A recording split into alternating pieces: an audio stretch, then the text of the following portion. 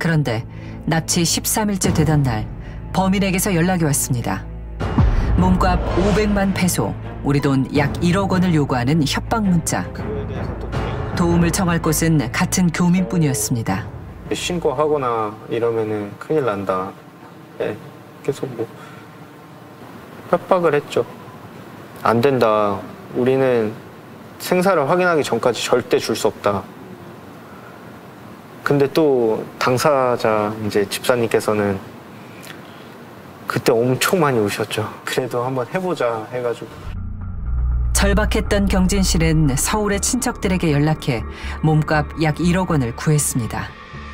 그러니까 돈이 이렇게 있으면 시리얼 넘버만 막 보이게 해가지고 그거를 사진을 찍었어요.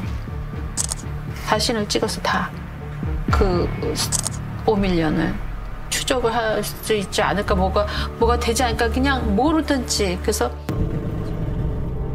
밤 10시가 다 된 늦은 시간 납치범이 접선 장소를 보내왔습니다. 깜깜한 밤 경진 씨를 불러낸 곳은 한 쇼핑몰 주차장. 납치범은 돈을 차에 놔두고 한 식당에 가서 기다리라고 지시했습니다.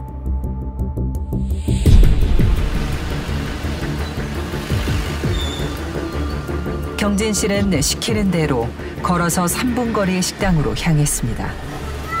그러니까 여기 바깥에서 저길 이렇게 봤죠. 차 보이잖아요, 그죠? 사실 준비한 계획이 있었습니다. 몰래 납치범을 촬영하는 겁니다. 이 계획에 함께한 두 명의 조력자가 있었습니다. 한 명은 길 건너편에서 또 다른 한 명은 주변을 돌며 납치범을 감시하기로 했습니다. 그런데 그 짧은 시간에 무슨 tricycle, 오토바이 이런 게 그 앞에 막 들어와서 정신이 하나도 없게 만들어갖고 사람이 갑자기 막 들어오다가 사실 쑥 빠져서 나갔어요. 없어졌어요. 누군가 방해 공작이라도 한 것 같았습니다. 경진 씨가 차로 달려갔지만 돈이 든 가방은 이미 사라진 뒤였습니다.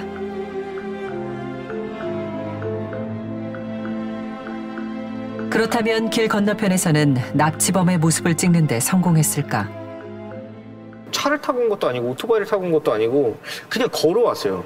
어디선가. 그래가지고 제가 의심을 더 못했어요. 키가 또 사모님이랑 비슷하셔가지고 더 사모님인 줄 알았죠, 저는. Is there a CCTV CCTV camera for that side? Yeah. Yan, ma'am. No. Here, ma'am. There's a CCTV at the traffic light. CCTV 사각지대를 잘 아는 납치범의 계획 범죄. 연락해온 전화번호도 추적이 불가능했습니다.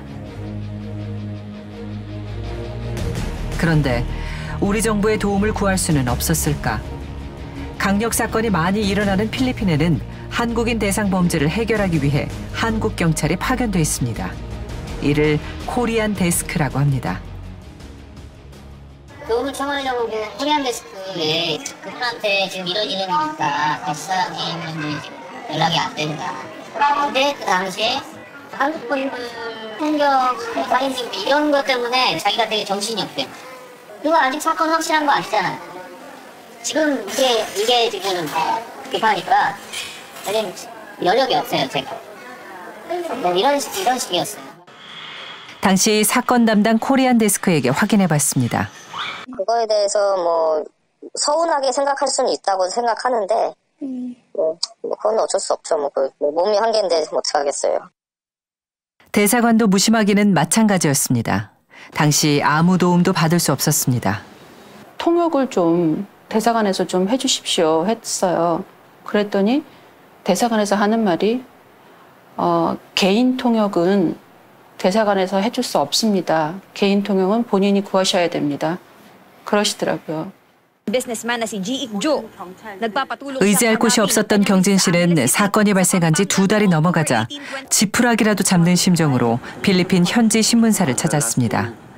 남편을 찾는 기자회견도 열었습니다.